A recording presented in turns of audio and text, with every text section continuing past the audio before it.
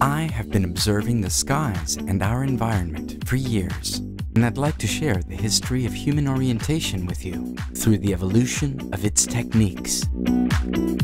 Today's satellite navigation systems are the final result of this evolution process because they've completely changed the way we see the world.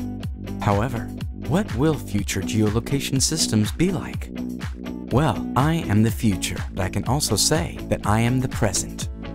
Was developed at CTTC, the Catalan Telecommunications Technology Center. My name is Global Navigation Satellite System Software Defined Receiver. Since the name is very long, you can call me Genius. I will be your guide in this journey toward the future in which I will increase transport efficiency since I will adapt a single device for different needs and environments. I will automate and improve the precision farming techniques, including areas with low satellite coverage.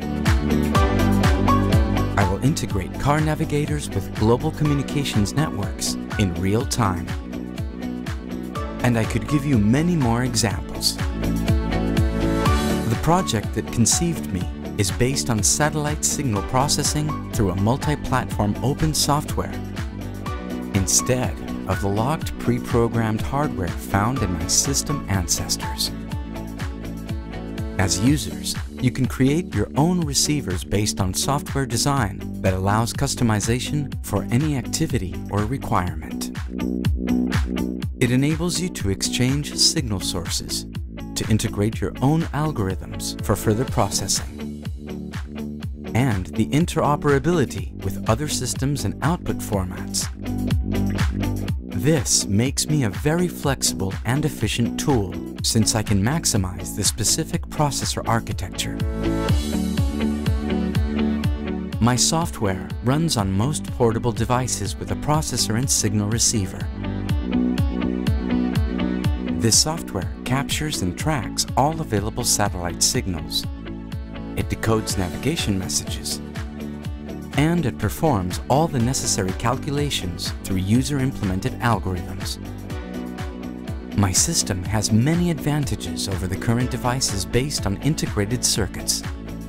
You can implement a navigation receiver in the cloud and remotely process data retrieved from any location.